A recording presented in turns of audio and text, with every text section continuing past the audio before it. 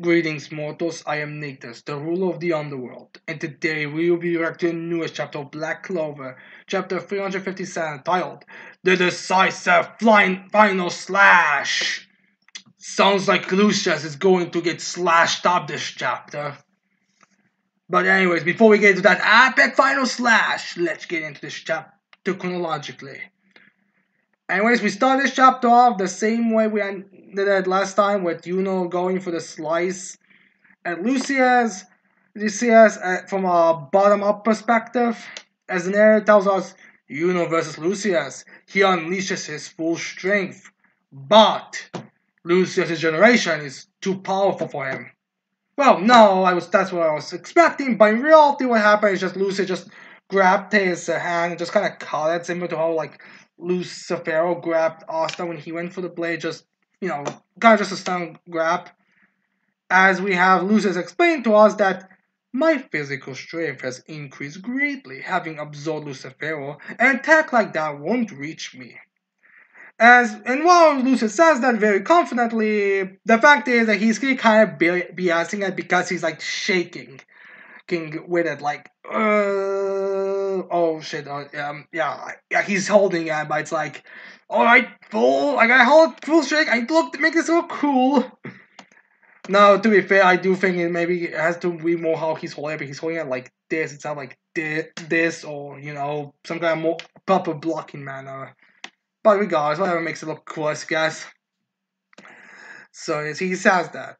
Now, this um in fact that uh, Lucius' physical strength did increase after he absorbed Lucifero is I get could be a because a bit more debatable because the way I interpret him saying that is more like it's not like he got this is where he was, this is where Lucifero was, and he now gets like this. it seems to be more like oh because he absorbed that he automatically got a bit of his physical strength like somewhere like somewhere in this ballpark, not one hundred percent here, but somewhere here. Maybe 50% of Lucifero's physical strength if you want to be generous. But yeah, physically he got a bit of a buff. But regardless, then we have Lucifer starting to explain to us a bit. Using such extreme magic, even you can't last very long, can you?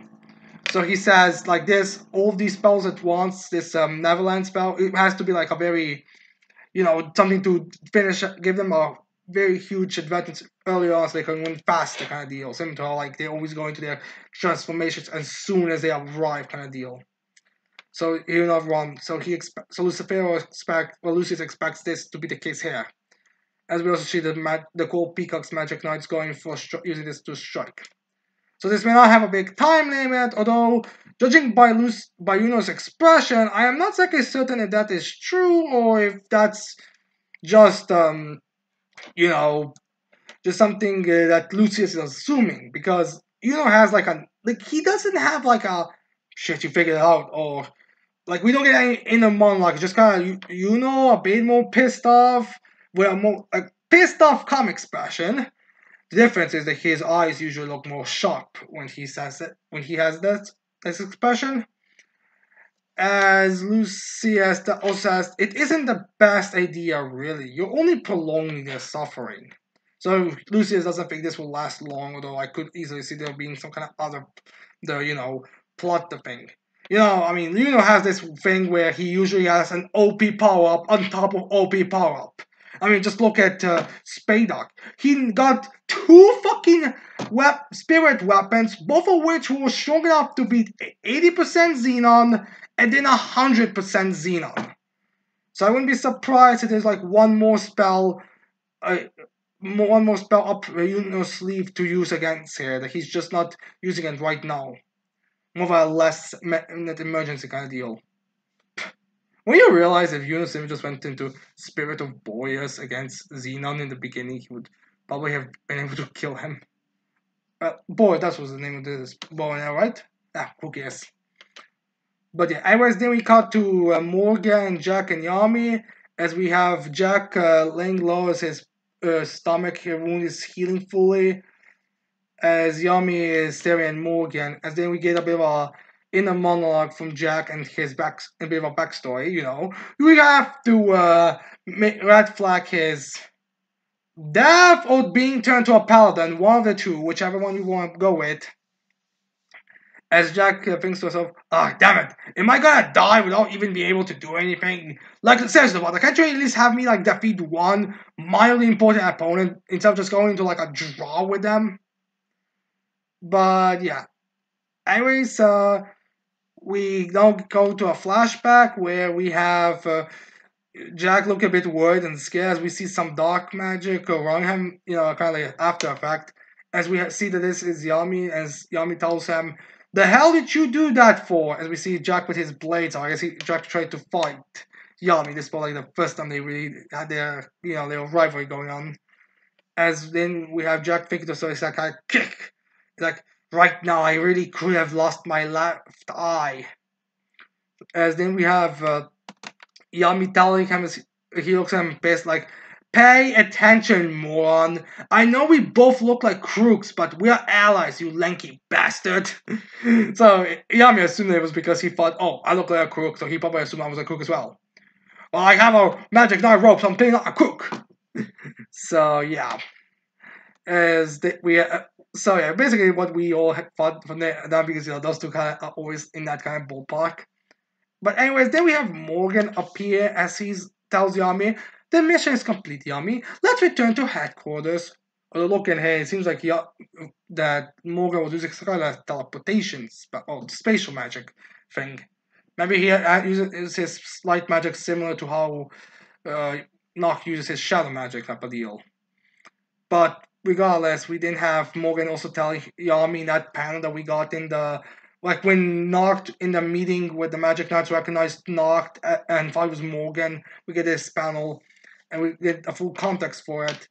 As we have Morgen telling Yami, we have to get along with other squads, Yami. Which just makes me think that uh, Morgen was constantly like, Yami, we have to be nicer. Yami, you have to eat properly. And stuff. Yami, you cannot drink right before missions, especially with intention of getting drunk. So I'm just kind of getting this vibe from Morgen in this. But Yami just tells him, come on, he started it. so it's kind of funny. Which I think that is kind of the relationship that it was supposed to be having since, you know, more, not, yeah, Morgen saw kind of a lot of Nacht in him. But regardless, we then uh, cut to Jack's kind of group that they were on the mission with, as one of the Green Mantis is like, it's the light and dark duo from the Great Year. As in some other guys like, they are said to be the top knights from our generation. Not uh, this is like top knights from the, the from this group that joined, or this is like supposed to be like a general generations type of thing. Since you know, I would think Campus like Nozel, Mereoleona, and Fuegoleon would be the top knights because they're there. Or to be fair, they're just like top knights. So like those two alongside those those royals would be at the top, which I guess makes sense. I mean, like no, no disrespect to Jack, but I mean Yami do I have to say more about Yami? Not kind of, surprising to see that Morgen is apparently also one of the top knights since I mean not, not again no disrespect to Morgen but I mean it's not like we ever got uh, any kind of idea that he's like anything anything insanely powerful. I mean he's nice than Nacht but nothing like oh he could defeat hundreds or something. I guess he is also a very highly skilled one. But regardless, we didn't have the other guy also explained that light's the most powerful attribute, while dark's shrouded in mystery. They are both such sub rare, substanceless, mystical magic. So it's funny how rare those two are, which again makes sense. Like light magic, I do believe was said before to be the strongest form of magic, or at least natural forms of magic. And dark magic is something they don't really know. In fact, some people were even scared of dark magic, so it makes sense why they would be considered like the top in terms of magic capabilities. But if they have not been like, ka interesting. I'll rip them both to shreds someday. Yeah, in your dreams, not Jack. As they have Jack also thinking to himself, the heretic dark and the serene light, huh? So yeah, as he looks at that, as then we have uh, uh, Jack uh, standing up like, move it, Yami! As Yami responds uh, to as we no, actually I think that's supposed to be uh, Jack you know also Don't you dare try to help me up, you asshole. I'll never need your help. Yeah, you're dying. You're, you're over. As then we see um, Morgen, like, I think the first time we actually see a full body shot of Morgen Spellman form as he gets ready to send another light magic attack. As Morgan tells him in his smiles, like, with my light, I shall send you to heaven. And immediately bring, and then Lucius will immediately bring you back to Earth. Again, kind of stupid, but whatever. Then we have Jack be like, Eternal, I've been slashing, slashing, slashing, slashing. As we get the flashback of every time Jack used his light mag, or his uh, slash cut magic, and we see like uh, an unminute sun man getting sliced, the bit his when he was a child getting sliced, his fight against Vato. I think the fight against Language and some other times, we also get like the slice with Dante, which is kind of, which kind of point this is the only kind of time we actually reference the Dark Triad. And again, I was thinking we were going to have it, but with yeah, Lucius, but now we have it here with just when uh, Jack was just beating the shit, slicing through Dante. But yeah, not even like new of it, just like the same ones.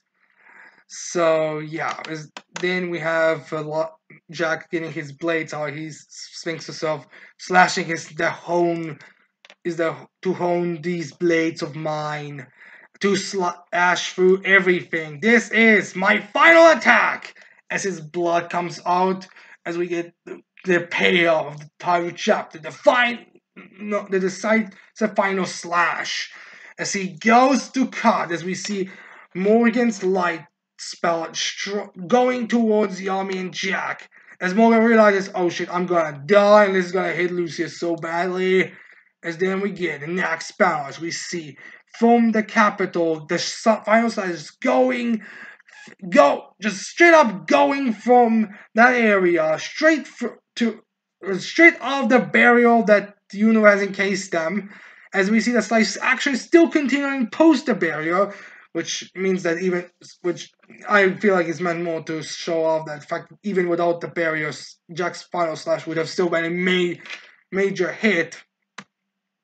As then we get the a panel which just kind of shows us the level of damage as we see the uh, hundreds of miles away from the capital being just sliced and honestly God looks like he permanently damaged the area, not gonna lie. As we see two of those creatures getting sliced in half and falling, then we see some of the Magic Knights react with shock over the slice. We see Charlotte and Brandon be like, shit, we really are the weakest two from the Magic Knight captains. As they both panicky as then we have Jack uh, back to Jack as he just falls down. As Jack says how how was that Yami? How was my final slash? As then we have Yami tell him I hate to say it but that was insane Jack as that's as then we have Jack be like ka ka I'll never got you I never got to rip you to shreds that's my only one only regret as then we have Jack falling, as I guess he's dead. As Yami thinks of goodbye, Jack. But unfortunately to Jack's fire slash, his slash was essentially just it looks cool. That's why we had it because lo and behold, Morgen is completely fine and is literally just I think he literally just kind of like moved a bit of the way, just kind of like this kind of thing. So yeah, despite how cool that attack was supposed to be, it's actually pretty much nothing. As we have Morgenstein to speak with, if that attack had landed, I would be dead. Again! But here easily managed to avoid it. Like, it doesn't even seem like Morgen was sliced in any kind of way. And then we get a bit of a sh shot that's supposed to be a very cool, dramatic shot with Yami, as we see his rope being flucking in the sky as Yami looks at Morgen angrily, is like, You ain't the Morgen I knew anymore. As Morgen just responds with his open eyes as he tells Yami, It does pain my heart that all of you will die in droves now, but fear not. For all shall be born again, and all shall become happy. So, yeah, as then we get to the next final page of the chapters, we see Mereoleona's fist, uh, not in her cloak form, going to burn Moris's fingers, but instead of getting them burned and smacking most in the face, we have her hand just her fist just disappearing as it kind of disintegrates. As she's like, "Oh shit, my arm disintegrated." I mean, are you telling me I'm actually going to get some consequences for being a battle-hungry maniac in Black Clover? That's so badly happened. That literally never even happens to to heroes.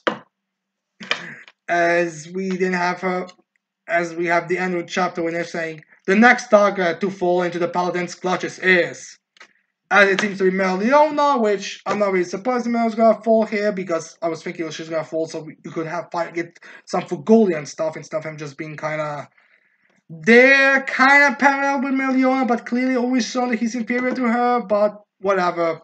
We have her her there her a shot of her there. So yeah, I guess Mereoleona versus Moore is gonna be the next fight, which I'm not really excited for because again, like even if Moore actually manages to take down Mereoleona, it's like it's kind of like my, it's gonna be like one of those you need it for the plot rather than anything significant. But yeah, anyways, um, I guess I should also discuss this because there are some people that say that this may not actually, this might be the devil that that uh, Moris has because it disintegrated while Morgen's magic, I think it's just supposed to like rearrange and change stuff. It shouldn't like tear things apart.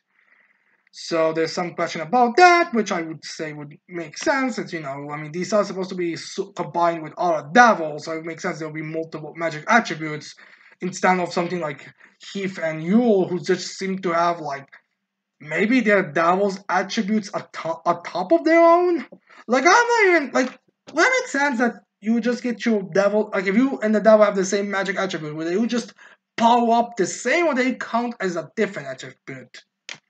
Well, whatever. Needless to say, Mereoleona is using her arm, and if this, if the narrative chapter is uh, to be believed, Mereoleona is going to be defeated next chapter. Although to be fair, you could also have Fuegoleon be defeated next chapter. We'll see which one is going to happen.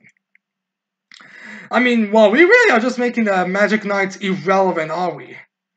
I mean, I guess when it comes to manga, because it's going to be their homeland country be the main ones, while everyone else is just gonna be irrelevant. I mean, alright, to be fair, I mean, to be fair, I would definitely put Heath below Moris and Morgen, but still, it's kind of like unfair. Like, they're getting wrecked by Paladins while we have the strongest use and and, uh, Ichika both being said they could defeat the Paladins, so it's kind of, kind of like a it's a bad look. But regardless, I hope uh, people like this chapter reaction. I hope you leave your your thoughts in the chat in the comments below. Don't forget to leave a like and subscribe to the channel for more videos in the future. And with this, that's it. I cannot, I cannot wait to see all of your mortals next time. Goodbye.